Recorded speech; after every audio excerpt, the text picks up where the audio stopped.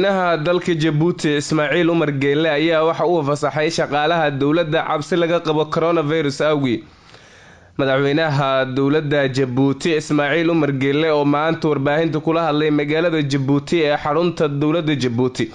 ayaa waxa uu sheegay in dalka laga helay kiis cusub oo coronavirus ah waxaana uu sheegay in dadaal badan dowladda jabuuti ay bixinayso islamarkaana uu madaxweynuhu amray in la fasaxo shaqaalaha dowladda si looga hortago faafidda coronavirus. Walka waxaan haddana garanay iminka inaan dowladda shaqaalaheyga aan fasaxno toddoba maalmood. Kolka laga reebo qolada biyaha ka shaqaysa kuwa kooraanka ka shaqeeya kuwa boorka ka shaqeeya kuwa booliiska ah iyo armeyga ah iyo caafimaadka intaas. In aan siino toddoba maalmood inay intaa mooyaane inta kale oo dhan inay iyo waxaan iloobay maxaa la yidhaahdaa ragga cashuuraadka ee duwaanka ayaan iloobay intaa marka laysku daro intaa maahina inta kale oo dhani inay fadhido guryahooga. Dadka oo dhanina waxaan jecelnahay intaa maahine inaanay guryahooga ku ekaadaan madaxweynaha jamhuuriyadda jabuuti ismaaciil umar gelle ayuu ahaa. Rofeor maxamed haji xasan ingiriis ayaa waxa uu sheegay in xiriirka dalalka soomaaliya iyo ethoobiya weligiisuu ahaa mid ku dhisan colaad. Abuukar dayax ayaa warkan faahfaahinaya. Rofesoorka oo waraysi gaara siiyey idaacadda iyo telefishinka dalsan ee magaalada muqdisho ayaa waxa uu sheegay in xiriirka ka dhexeeya etoobiya iyo soomaaliya uu yahay mid colaad ku salaysan iyadoo muddooyinkii ugu dambeeyey uu u muuqday xiriirka soomaaliya iyo etoobiya mid saaxiibtinimo isu soo dhowaasho muujinaya ayaa brofesoorku waxa uu u yeelay sifo kale oo ku aadan inuu ku salaysan yahay xiriirkani mid colaad soo jireena. Beenoo la abuurayo oo lagu dhex abuurayo arrimo siyaasadeed taariikh walaalnimo iyo mid wax isweydaarsi iyo mid wax wada qabsi iyo mid dhaqaale iyo mid arrimo bulsho. Ma dhex marin etoobiya iyo soomaaliya marnaba iyo miday wax ku wada qabsadaan ama ku midoobaan. Dagaalkooda wuxuu ahaa boqortooyadaas etoobiya oo rabtay inay soo fido iyo soomaalida hortaagnayd. Yay lahaan qaran dhexe oo wada xukuma soomaalida. Dad geeley u badnaayeen dadka xuduudaha la leh soomaalida iyo dad kala fafadhiya qabaa'il kala fadhiya. Waxay ku midaysan yihiin ma jirin. Etoobiya laftirkeedu ma midaysnayn waa in taas soomaalidu fahantaa. Laga leeyaha waxay tahay kooxaha xukunka marba jooga waxay isku dayayaan inay awoodooda ballaariyaan wadanka waa ogtahay wadankeenni wuu kala qaybsan yahay. Waa laysku wada haystaa colaadaa jira waa lagu kala qaybsan yahay siyaasadii qaybaba meelay haysataa say ku haysataba. Ama qabiil ha ku haysato ama maamul goboleed ha ku haysato ama koox ha ku haysato. Marka doonista kuwa xukunka fadhiista villa soomaaliya mar walba isku dayaan inay kuwa kale gacanta ku soo dhigaan. Ayaa wuxuu hoosgeeyaa etoobiya marka taasaa ku qasabta inay yidhahdaan etoobiya waa walaalaheen laakiin labadii sano u dambeeya hadda isbeddelka geopoliticska gobolka ka dhaca caawiyey. Taliska maanta jooga wuxuu ku caawiyey inay etoobiyaankii dowladoodii dhexe iyo ayaga isku hadaf noqdaan. Dowladda dhexe maanta etoobiya ka jirtay uu hogaaminaya ninkan la leeyahay abiy axmed waxay isku dayeysaa inay soo celiso fikraddii amxaarada ku wada qabsatay ummadaha kale qarnigii sagaali tobnaad. Fikraddii menele ku shaqeeyey tii xeyle salaasi ku shaqeeyey tii uu ku shaqeeyey mingistu ee ahayd over centralizationka yani wadankii oo dhan oo si xooga yani loo wada hayo dadkii muqoonis iyo xoog lagu wada hayo systemkuna yahay mid yani kalitarisnimo ah. Marka labadaasaa iswaafaqay oo maamul goboleedyadii ay taageeri jirtay etoobiya ee annaga nagu faragelin jirta soomali haddaana iyo kooxii kala duwanaa ayay meesha ka saartay. Dowladda soomaaliya ayaa maanta waxay shaacisay mowqifkeeda ku aadan khilaafka dowladaha ethoobiya iyo masar iyadoona wasiirka arrimaha dibadda soomaaliya uu sheegay in soomaaliya aan lagu qasbi karin in xiriir ay u jarto dal kale. Axmed xuseen cadow ayaa warkan faahfaahinaya wasiirka arrimaha dibadda xukuumadda federaalk ee soomaaliya axmed ciise cawad ayaa ka hadlay muranka u dhexeeya dowladaha masar iyo etoobiya kaasi oo ku aadan arrimaha webiga niil. Wasiir cawad ayaa waxa uu markaasi la hadlay warbaahinta deegaanada puntland waxaana uu sheegay in dowladda federaalk ah ee soomaaliya ay dhexdhexaad ay ka tahay muranka la xiriira arrimaha webiga ee masar iyo sidoo kale etoobiya waxa uu sheegay wasiirka soomaaliya ay ka go-an tahay ama ay markaasi go'aan ay ku gaartay inay dhexdhexaad ay ka noqoto labada dowladood. Islamarkaana aysan u yeeri karin ama u yeerin karin labada dhinac waxa ay soomaaliya ay go'aansanayso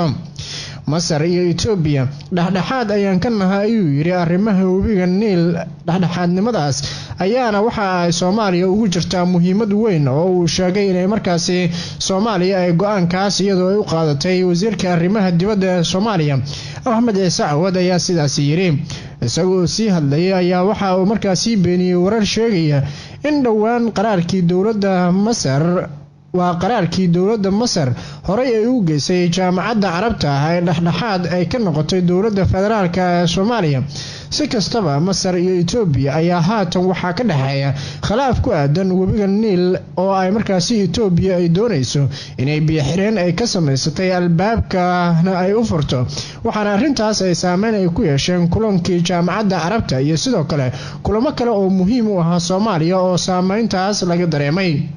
dhinaca kalena ra'iisul wasaaraha xukuumadda federaalk ee soomaaliya xasan cali khayre oo isagu toddobaad ka hor booqasho ku tegay magaalada adis ababa ee caasimada dalka etoobiya ayaa waxaa la sheegay in khilaafkaas darteed uu markaasi u tegay ra'iisul wasaaruhu dalka etoobiya islamarkaana uu madaxda dalkaas gaar ahaana ra'iisul wasaaraha etoobiya abiy axmed uu kala soo hadlay arrintaas islamarkaana etoobiya ay ka carootay go'aanka dowladda federaalk ee soomaaliya la sheegay in markii hore ay kula safatay masar xildhibaanada baarlamaanka labaad ee dowlad goboleedka koonfur galbeed soomaaliya ayaa maanta waxaa lagu dhaariyey magaalada baydhabo ee xarunta gobolka baay ee dowlad goboleedka koonfur galbeed soomaaliya. Xildhibaanadan oo ay ku dhabaaqeen guddiga soo xulidda xildhibaanada baarlamaanka koonfur galbeed ayaa tiradooda ah sagaashan iyo shan xildhibaan oo dhigaya dastuurka dowlad goboleedka koonfur galbeed soomaaliya dhaaridda xildhibaanada waxaa ka qayb galay odayaasha dhaqanka deegaanada koonfur galbeed mas'uuliyiin ka socday dowladda federaalk ah ee soomaaliya xubno kale oo ka tirsan xukuumadda koonfur galbeed soomaaliya. Qaar ka mid a odayaasha ka qayb galay munaasabadda ayaa waxaa xildhibaanadu ay uga digeen inay ku mashquulaan muushin la doonayo in lagu dumiyo xukuumadda maamulka koonfur galbeed soomaaliya waxaana ay sheegeen in si sharciga waafaqsan ay u gutaan xildhibaanada waajibaadka shaqo ee loo igmaday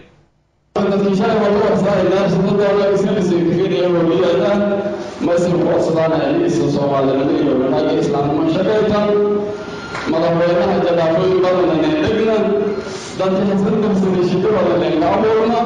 baadii dadkii diintaba shaqaytaan markii laga soo qeyb waxaa loo baahan yahay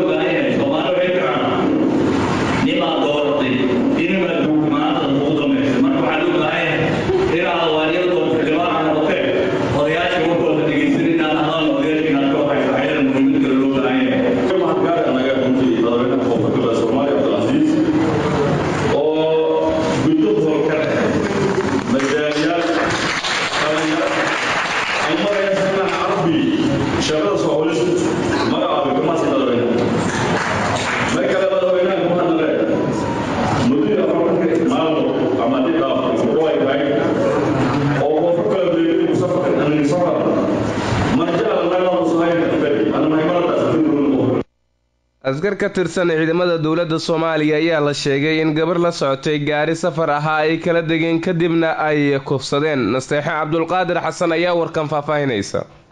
Wararka idaacadda dalsan ee magaalada muqdisho ay ka helayso degmada warshiiq ee gobolka shabeellada dhexe ayaa sheegaya in xalay gudaha degmadaas lagu hufsaday gabar la socotay gaari safar ahaa. Dad ku sugan warshiiq ayaa soo sheegaya in laba askari oo ciidan ah ay gabadha ka dejiyeen gaari safara oo marayay halka loo yaqaano burka sifaacad islamarkaana ay gabadha kula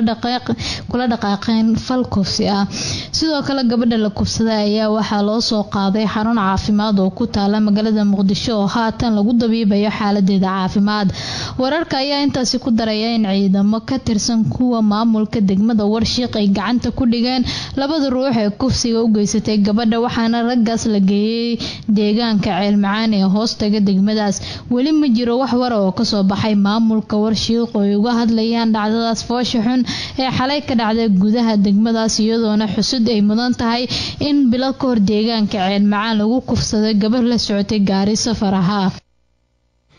maamulka gobolka baay ayaa digniin iyo wacyigelin ku saabsan coronavirus waxay u direen shacabka ku nool deegaanada gobolkaas. Baay oo ka tirsan saddexda gobol ee koonfur galbeed soomaaliya xasan salaad xasan oo ku sugan magaalada baydhabo ayaa warkan soo diray. Gudoomiyaha gobolka baay ee koonfur galbeed soomaaliya cali wardheer cabdiraxmaan dooyow iyo haweeneyda u qaabilsan gobolka ee dhinaca haweenka muraayo aadan madeer ayaa si wadajira waxay ugu baaqeen bulshada ku dhaqan degmooyinka hoostaga gobolka baay inay ku dadaalaan allabariga iyo nadaafadda si looga hortago caabuqa coronavirus oo dunida faraba-an waayahan dambe ku hayay mas'uuliyiintan ka tirsan maamulka gobolka baay ayaa waxa ay sheegeen in allabariga iyo dadka oo ku dadaala nadaafadda kana fogaadaan goobaha la isugu iman karo ay taasi horseedayso in laga hortago caabuqa coronavirus oo weli si rasmi aan lagu helin dawooyin xanuunkaasi looga kaco. Bulshada ku dhaqan magaalada baydhaba ayay fariintan u direen iyo xaafadaha kala duwan ee magaalada waxayna sidoo kale ay sheegeen inay qaban doonaan tababaro ku aadan sidii sare loogu qaadi lahaa wacyigelinta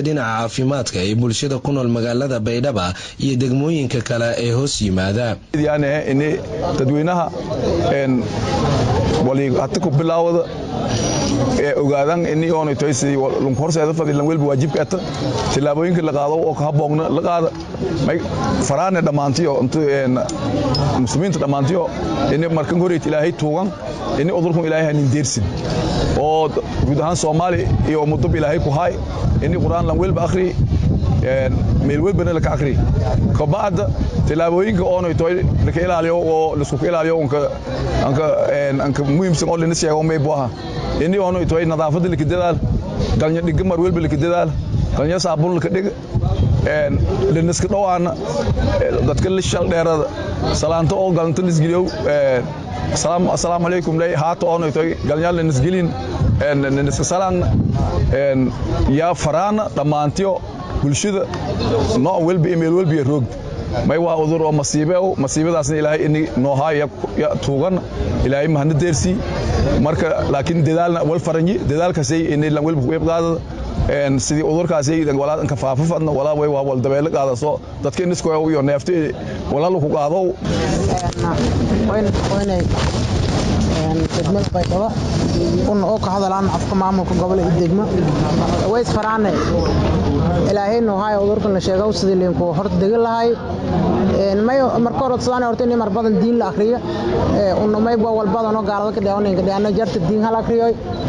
nadaafadan halka dadaaloy insha allahu qaabkii liinku horseedayna waa boynin sheegohay